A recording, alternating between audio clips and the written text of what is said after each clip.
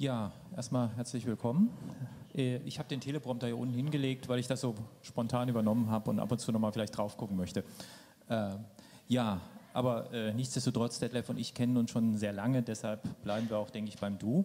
Ähm, es geht ja hier vielleicht mal darum zu schauen, wie das, was wir eben äh, aus den verschiedenen Ländern gesehen haben, nochmal ein bisschen auf Deutschland runterzubrechen und zu schauen, wie natürlich in dieser doch sehr komplexen und komplizierten und manchmal äußerst schwierigen äh, föderalen Struktur irgendwie was äh, vorangebracht werden kann, ob das jetzt Filmbildung im Besonderen oder Medienbildung im Allgemeinen ist. Ich denke, es läuft fast immer auf das Gleiche, jedenfalls was die Probleme, die dort auftauchen, äh, hinaus. Ähm, ihr habt ja in Niedersachsen ähm, eine Rahmung hergestellt. Äh, die Jahreszahl 2012 ist ja schon genannt worden als Termin für die erste äh, KMK-Erklärung zur Medienbildung in diesem Jahrtausend, muss man sagen, oder diesem Jahrhundert. Nur mal so zur Erinnerung, äh, welche Intervalle das hatte vorher. Die da vorliegende Erklärung war aus dem Jahre 1995. Also da waren schon einige Jahre, wer schnell rechnen kann, es sind 17 Jahre dazwischen gewesen. Äh, und also 2012 war auch für Niedersachsen ja ein Term, äh, wichtiger Termin. Ihr habt ja dann auch versucht, praktisch auf Landesebene gleich einen Rahmen herzustellen. Vielleicht kannst du noch mal so ganz kurz äh, dich zurückbeamen in das Jahr 2012 oder in die Zeit. Äh, was habt ihr denn da gemacht, damit es überhaupt so zu den Dingen kam, über die wir dann dem zweiten Schritt vielleicht reden wollen? Also dieses, ist das an? Ja. Diese Empfehlung der Kultusministerkonferenz von 2012 hatte ja auch eine Geschichte. Und ein Teil dieser Geschichte war auf der Ebene der Länderkonferenz der Medieninstitute der Länder, der, das, das Konzept zur Medienbildung, was 2008 in der ersten Fassung und dann überarbeitet 2015.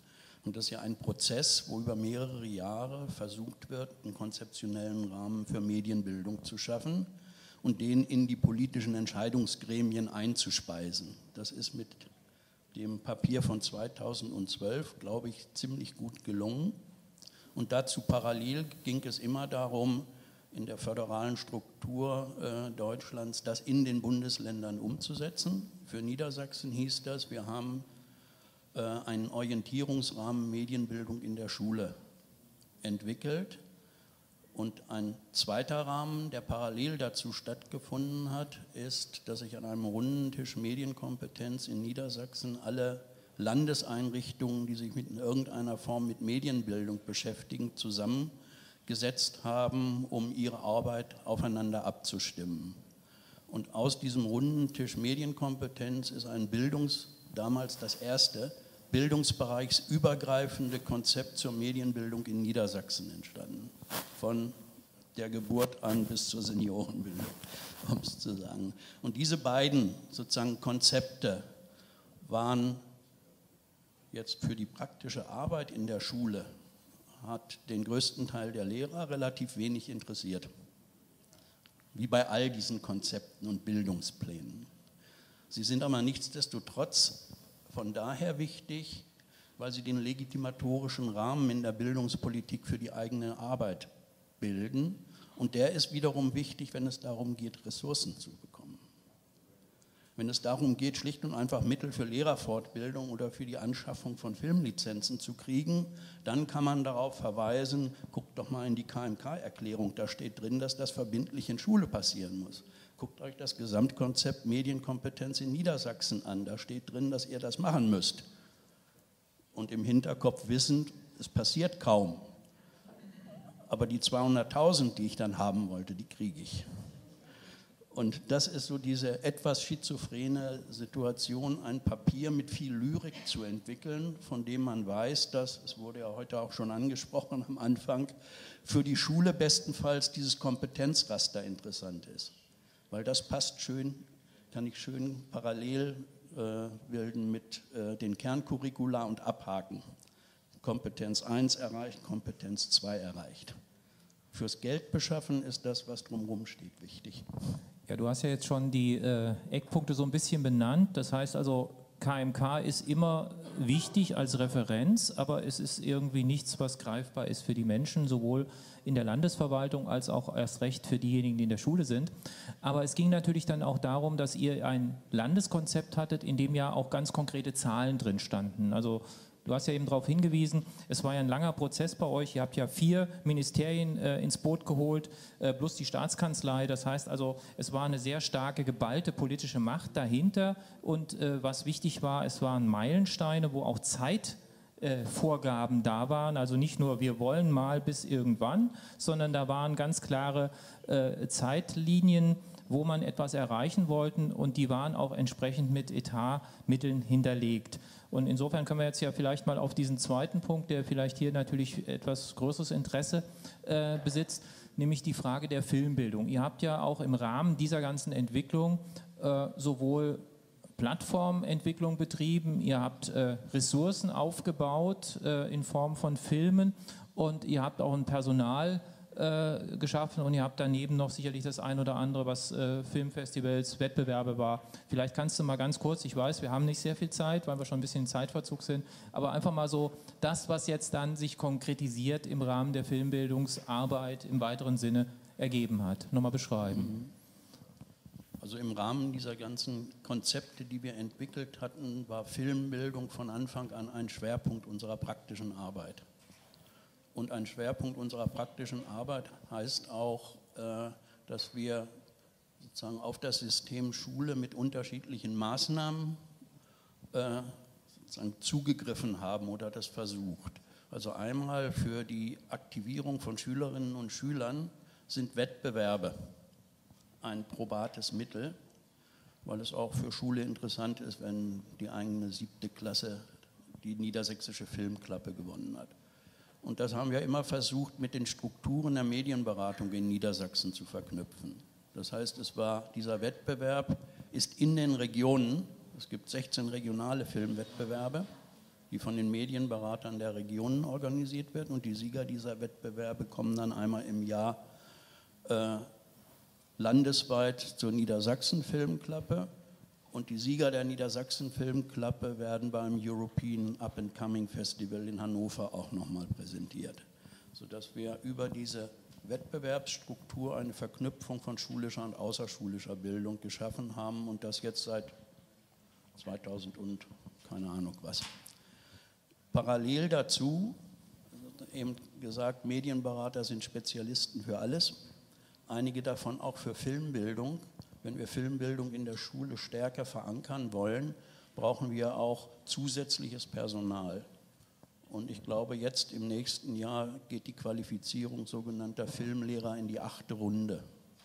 Und was uns selbst überrascht hat, es ist Platz für, es sind sieben Module, drei bis fünf Tage, was eigentlich im Rahmen der Lehrerfortbildung gar nicht geht, aber es geht.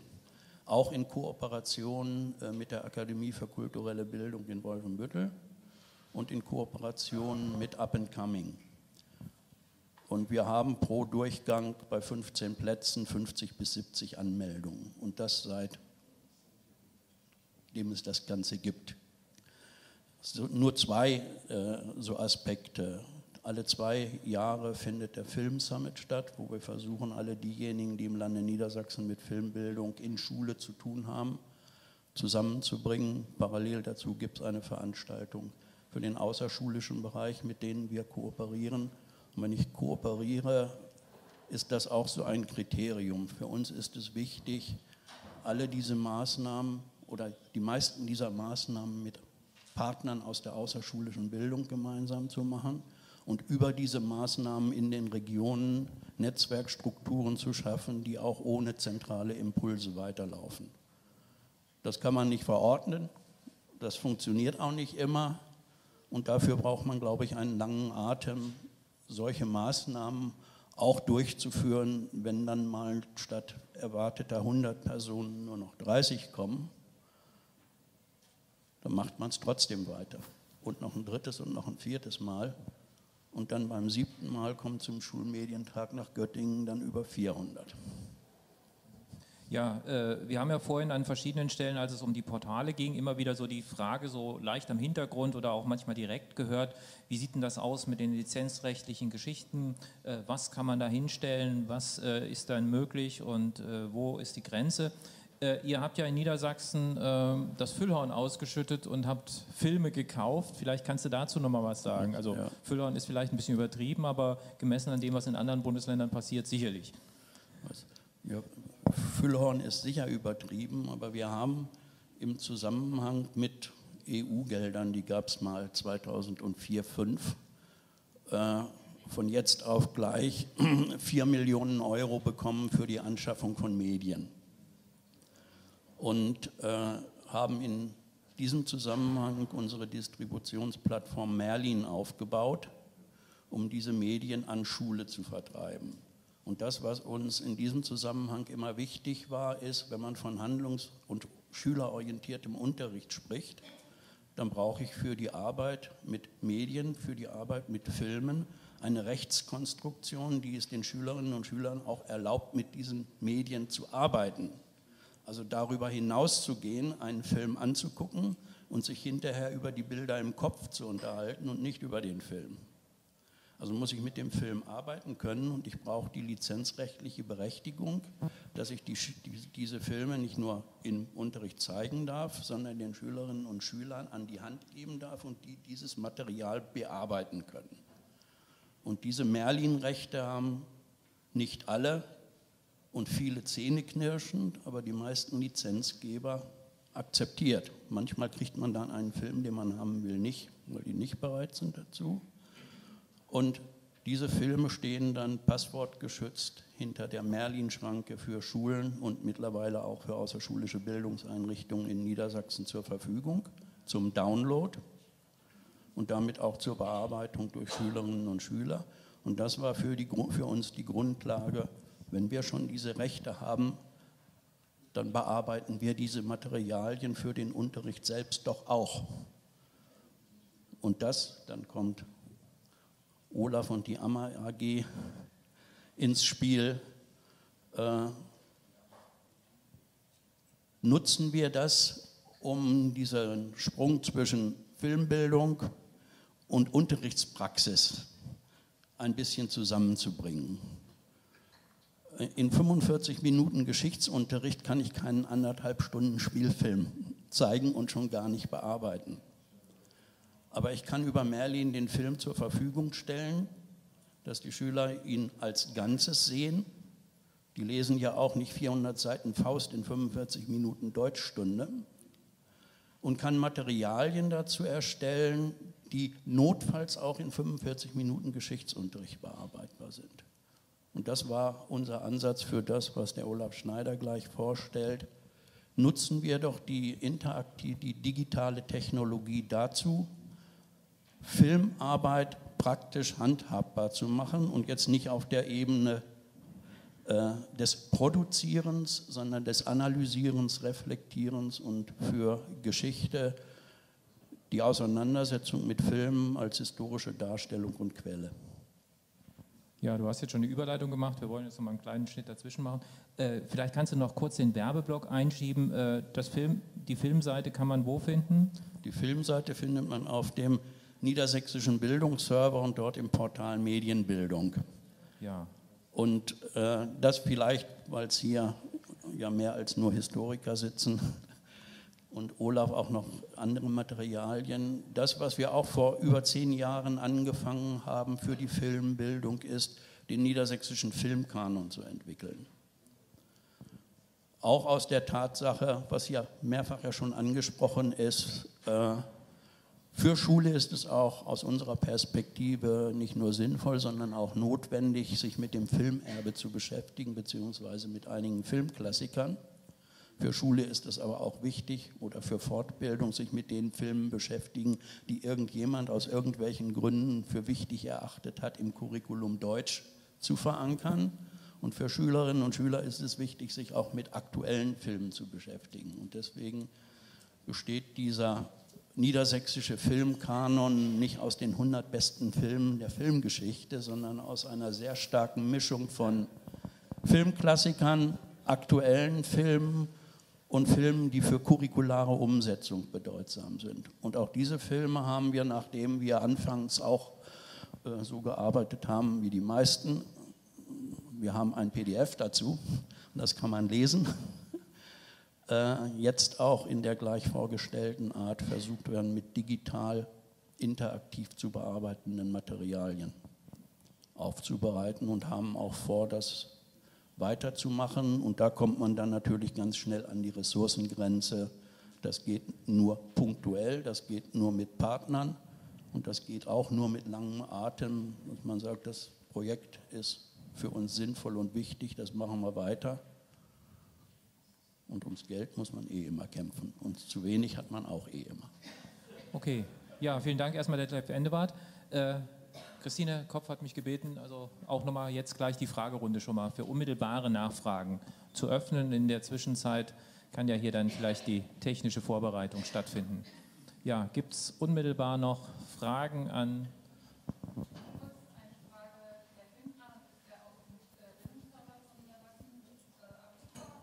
jedermann oder steht der nur den Lehrern zur Verfügung?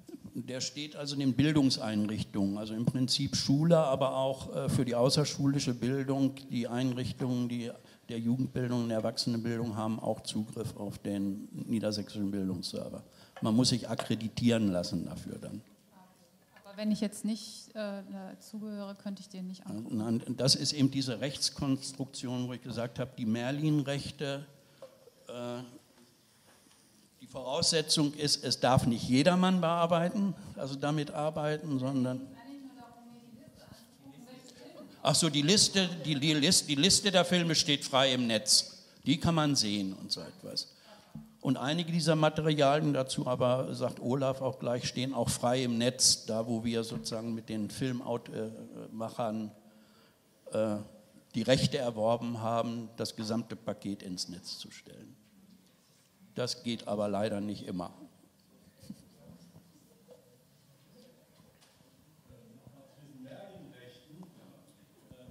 Die beinhalten, denke ich mal, das Arbeit, Bearbeiten im PC-Raum, also Stop and Go, Betrachten einzelner Szenen und so weiter und so fort, auf mehreren Rechnern gleichzeitig laufen, damit eine Klasse damit arbeiten kann bei den Filmen. Beinhaltet das auch zum Beispiel Szenen rauszuschneiden und die zum Beispiel umzusetzen äh, und so weiter und so fort. Das ist ja der Zweck der Übung.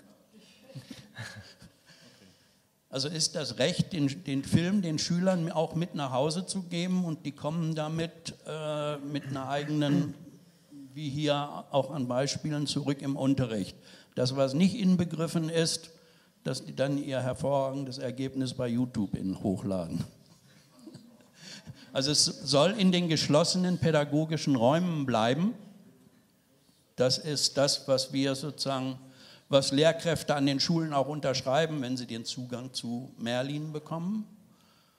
Was natürlich jeder weiß, letztlich verhindern ließe sich das nicht.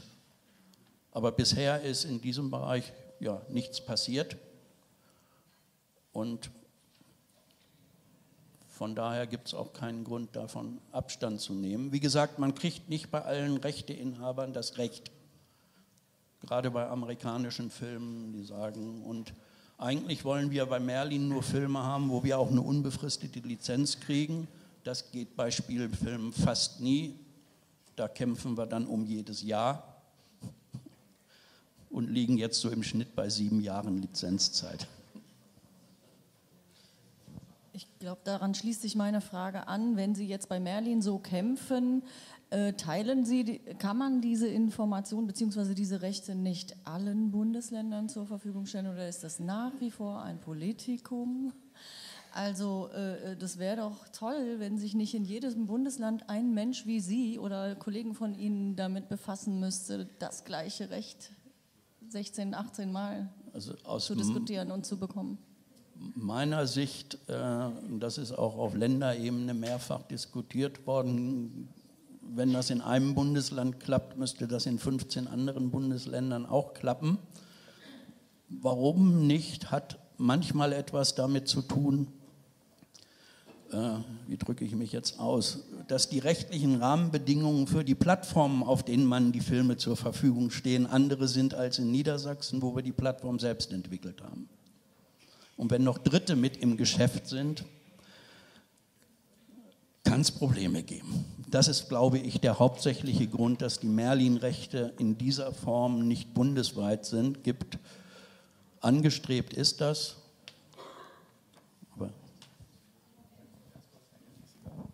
Ganz kurz eine Ergänzung, äh, jetzt zum Beispiel speziell auf Hessen bezogen. Wir haben auch äh, online äh, verfügbare Filme, die für Schüler zugänglich sind, wo es eine Landeslizenz gibt und wo der Lehrer also praktisch den Link an den Schüler weitergeben kann, sodass der dann zu Hause oder wo auch immer sich diesen Film auch in Ruhe anschauen kann und auch entsprechende Dinge damit machen kann. Also es gibt schon in verschiedenen Bundesländern solche Sachen, aber das Problem ist halt, Föderalismus und die Bildungshoheit liegt bei jedem Land und von daher kann man sich daran orientieren, aber die Probleme hat Detlef ja schon beschrieben. Ja, ich hätte noch eine kurze Nachfrage gehabt, was diese Bearbeitung von Filmmaterial angeht. Ist es jetzt durch, die, durch neue Urheberrechtsfragen, da gibt es ja so auch ähm, ein paar Sachen, dass man im Unterricht zum Beispiel auch Materialien bearbeiten kann, ohne da jetzt gleich irgendwie alle Rechte vorab mit dem Rechteinhaber geklärt also, zu haben? Das, da, vielleicht weiß es auch Olaf. Kann Olaf vielleicht auch sagen, also aus unserer Perspektive, das neue Urheberrecht ist aus unserer Interpretation, auch mit unserem Hausjuristen in Anführungszeichen, der aber kein Filmrechtler oder die ist, äh, ich kann so und so viel Prozent eines Films äh, im Unterricht zeigen. So, wenn wir diese Rechte mit diesem Filmbearbeitung haben, kann ich auch die Filmbearbeitung bis zu dieser Grenze im Unterricht zeigen. Dadurch, dass wir das sozusagen nicht öffentlich bis auf da, wo wir alle Rechte haben, im Netz spielen, erleichtert, glaube ich, das neue Unter Urheberrecht die Arbeit, die wir machen. Nur ist so eine Erfahrung von mir, ehe ich jetzt die Juristen im Kultusministerium daran setze und dann zehn Jahre warte, bis die mir irgendeine Antwort geben, fange ich erstmal an und warte dann, was passiert. Vielen Dank für genau diesen Pragmatismus und den langen Atem. Äh, sind wir sehr dankbar, dass Sie hier waren.